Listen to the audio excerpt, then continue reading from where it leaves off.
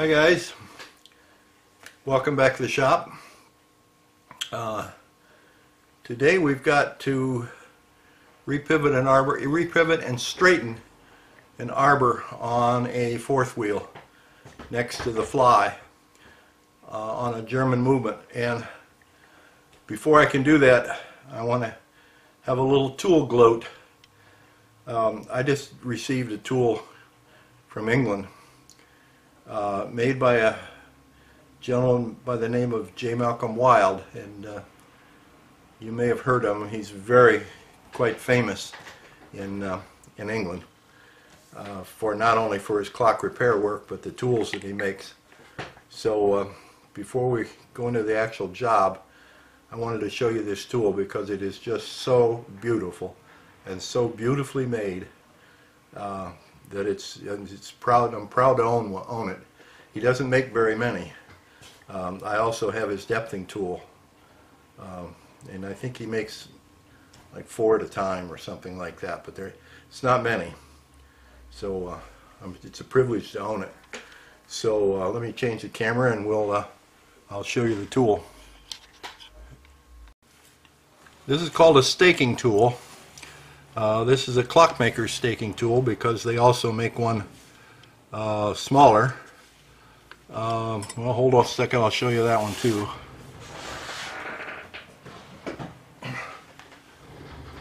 This is a watchmaker's staking tool. And uh, this is the actual tool, and these are all the stakes. These are called stumps.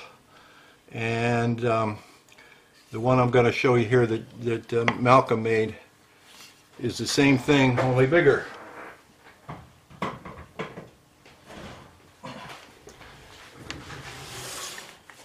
This is just so beautifully made. Uh, the base and this arm are cast, everything else is machined. Um, and here's how it's used. This has a stop right here so that when you line, this is the uh, centering tool, and you put that in there, and you can line up this, this moves, as you can see, and when you're against the stake here, um, and you tighten that, you can then move the plate here on the bottom until you get that absolutely straight with with the uh, centering tool. Then you can move, this is what's so cool, you can move this out of the way, put your part in, this is the part we're working on. You can't really, maybe you can see that. Right there is the pivot and that's broken, broken right off. And maybe if I can spin it you can see, see how out of round it is this pivot is bent, the arbor is bent back in here. So, whoop. Now the first thing we have to do is take the arbor off the wheel, or take the wheel off the arbor. So we put that in there. We put this collet in there, or so that we can get the right size for this particular stake. Now this one, because now maybe that will work. I was going to say because the, the arbor's bent, we may not be able to center it. We may have to move it over a little bit, but that looks pretty good.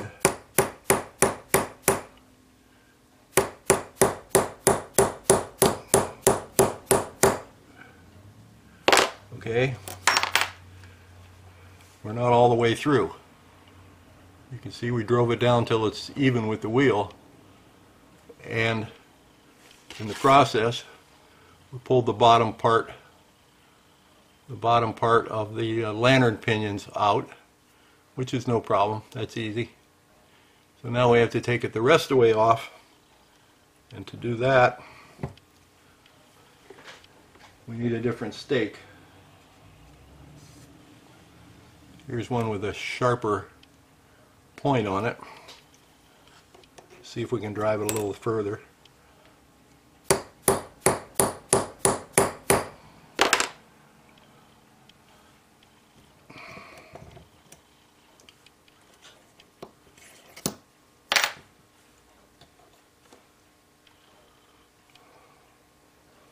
Almost. So, since we don't have any stakes that are that deep, I'm going to use a tool I made. This is just a piece of uh, brass rod that's knurled on the end with a piece of pivot wire in the end, right here.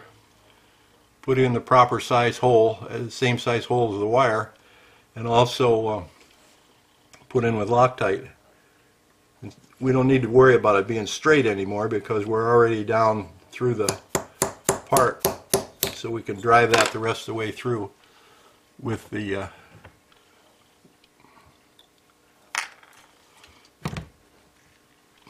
there we are.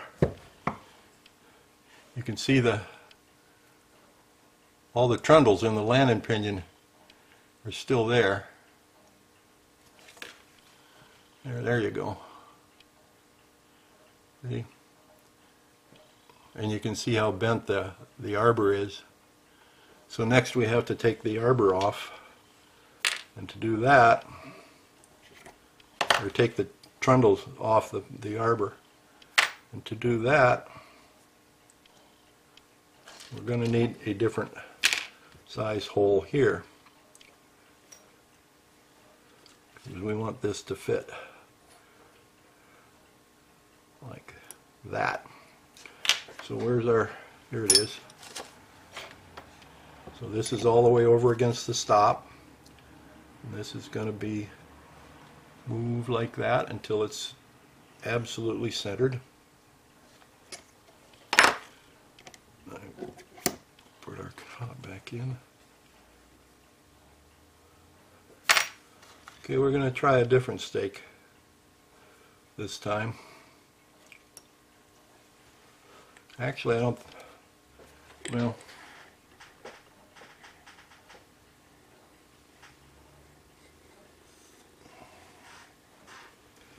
let's try this one. This has a little bit uh, larger end, flatter end on it. Whoops. Hold on. I'll do the whole process over again because this is too high.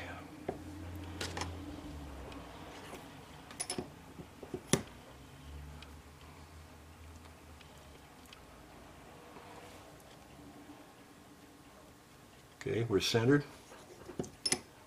Think. No, we're not. We weren't over against the stop. Now we're centered. Put the bushing in. Put the arbor in. Put the stake in. And see if we can drive that out the rest of the way. Yes.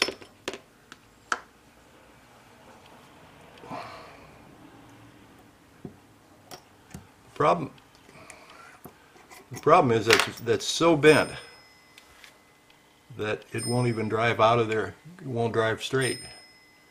So we're going to have to do a different method. Okay, I tapped that down just a little just with the hammer. And I think it's now to the point where we can just twist it off.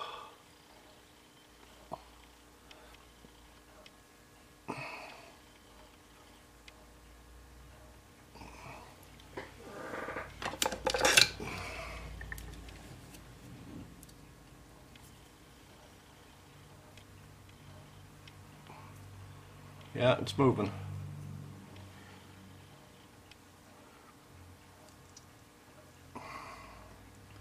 Nope, it's not going off. I have to try the. Uh,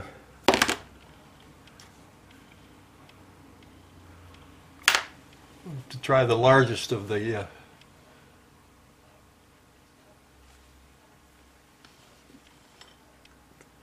tools that I made.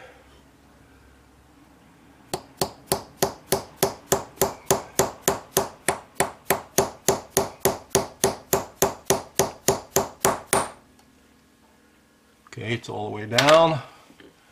Small, smaller one, so we can drive it on through. There. It's out. So there we have the lantern pinion by itself. And here we have the arbor. I don't know if you can see that or not, but that sucker is really bent. Right there you can see it. See how bent that is? The very first thing we have to do is straighten the arbor now that we've got it all apart. Um, in the meantime, I want to show you the box that this tool came in. This is, I might have to move the camera, but this is just so amazing. Even the box is beautifully made. And this is the, uh, the tool goes in here when you're not using it. And these are all the stakes that come with it. And three different size bushings for the different size stakes. Um, it is truly a, an amazing piece of work. Um, and like I said, I'm real happy with it. Okay, so now we've got our wheel, our, our lantern pinion, and our arbor, which I lost. Here it is. We have gremlins here in the shop. At least that's what we think it is. If, if we drop something, a little screw or something, we pretty much don't bother to try to find it because uh, the gremlins run out and grab it and put it in their stash, and uh, that's the end of it. So we've pretty much given up trying to find stuff, little screws that we drop on the floor. So, okay, we'll be back in a minute. Okay, we're over to the middle lathe uh, with a 564th 4C collet. And before you uh, put these in the machine, you always want to clean them. Make sure the threads are clean because they uh, they gather all kinds of chips and stuff in there. And this is clean here. Your finger's the best thing to do that with. The drawbar really doesn't get uh, dirty because it's always inside the the um, spindle. Now we want to put the this bent. You can see that it's bent right there where that small section is. So we're going to put this in here.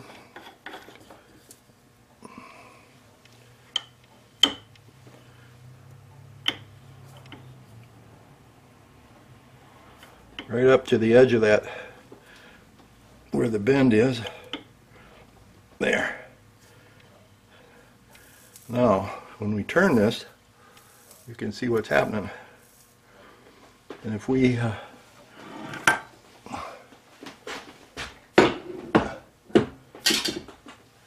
if we put a point at the other end, one second.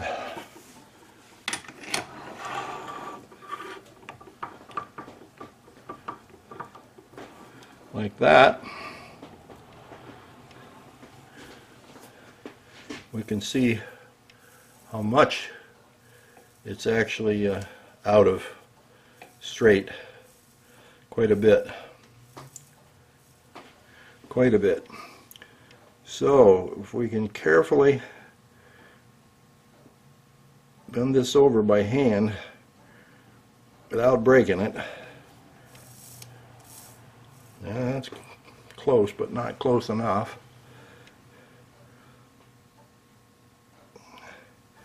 Takes a little patience. Oh, look at that. That was lucky. That was really lucky. It's dead on. So now we have a straight arbor. Just luck, guys.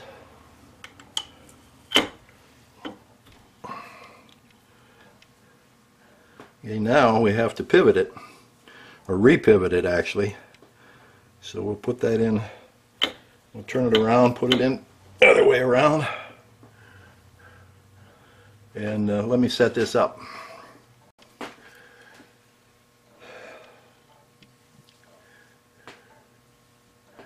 The pivots, this pivot is still good, the one on this end, But the pivots on an arbor are, are normally, all, I, I would go so far as to say always the same size. So this one is 027. So we want to match that when we put the new the new pivot in there.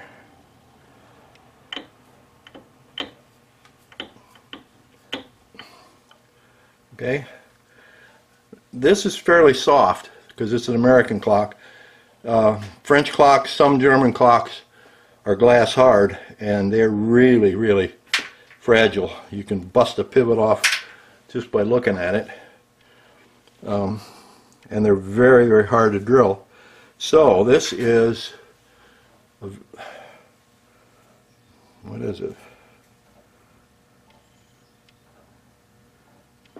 It's a 3-0 center drill and it's solid carbide. So we're going to use that to go in there, which I use almost always use carbide. It just is, makes a nicer job and drills a nice clean hole. There it is.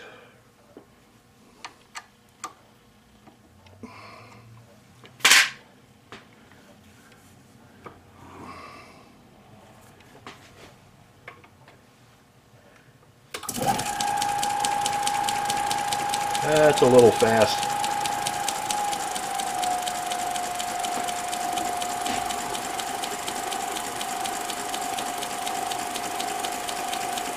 Oh, what we're going to do there. I'm going to file the end of that flat. There's a little thing sticking up on it and I don't want to that's better. Center drill will have a better chance of hitting the dead center.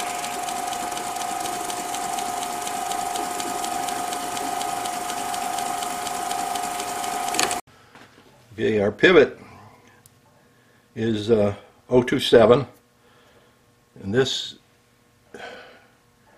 is um, 026 which is good one thou difference in there is just fine. This is also carbide.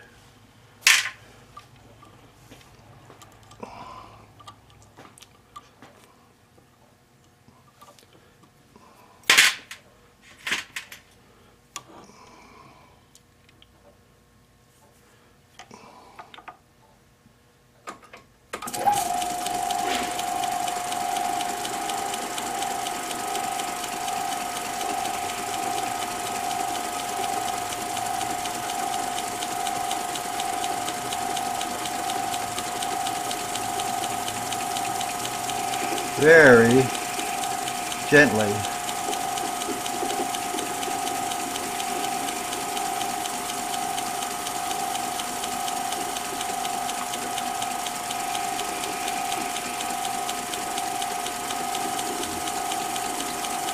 My rule of thumb for how deep this is is six times the uh, diameter of the pivot.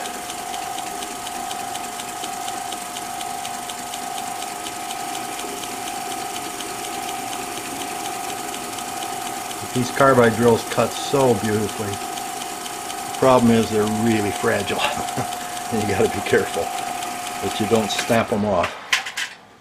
They're not cheap either. Okay, we'll get some pivot wire. So that's it for this evening. I uh, hope you liked that. Um, if you enjoyed it, please subscribe. Um, thanks to Tom Lipton and his mention of my channel on his channel uh, a week or so ago. I've got I got 500 subscriptions almost overnight. So thank you, Tom.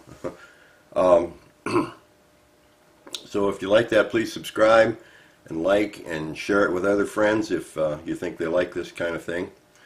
And I'll see you the next time. Thanks for watching.